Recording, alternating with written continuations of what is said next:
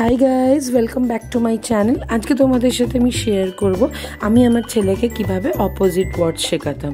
তো চলো দেখতে থাকো ভিডিওটা ওর ফার্স্ট কনসেপ্ট ছিল বিগ অ্যান্ড স্মল আর দেখতেই পাচ্ছ ওকেটা আমি বিগ সার্কেল একটা স্মল সার্কেল ড্র করে দিয়েছি আর ইনস্ট্রাকশন দিয়েছি যে বিগ সার্কেলটাকে রেড করতে হবে স্মল সার্কেলটাকে ব্লু করতে হবে।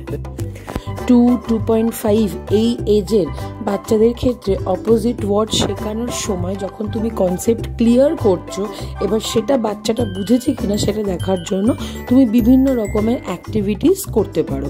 যেমন আমার এখানে কালার অ্যাক্টিভিটিসে ধরো বিগটাকে রেড করেছে স্মলটাকে ব্লু করেছে। আবার ধরো আমি অপোজিট ইনস্ট্রাকশনও দিতে পারি, ধরো স্মলটাকেও রেড করল বিগটাকেও ব্লু করল। এইভাবে তুমি নানান রকমের অপোজিট ওয়ার্ড শেখাতে পারো।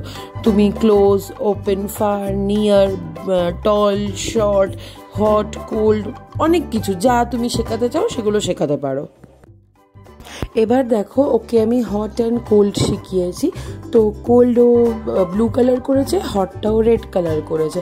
চাইলে তোমরা অন্য কালার দিয়ে করাতে পারো পেপার স্টিকিং করাতে পারো পেপার কোলাজ করাতে পারো পেপার টিয়ারিং করাতে পারো, যেগুলো স্টিক পেপারের মধ্যে অ্যাক্টিভিটিস পড়ছে।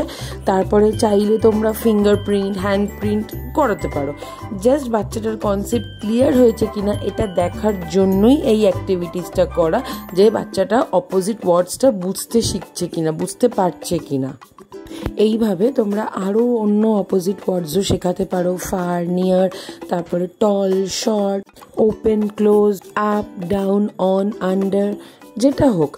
আর আমার এই ভিডিওটা যদি তোমাদের ভালো লেগে থাকে, অতি অবশ্যই আমার চ্যানেলটাকে সাবস্ক্রাইব করো ভিডিওটাকে লাইক করো কমেন্ট করো শেয়ার করো। সবাই ভালো থেকো, সুস্থ থেকো। বাই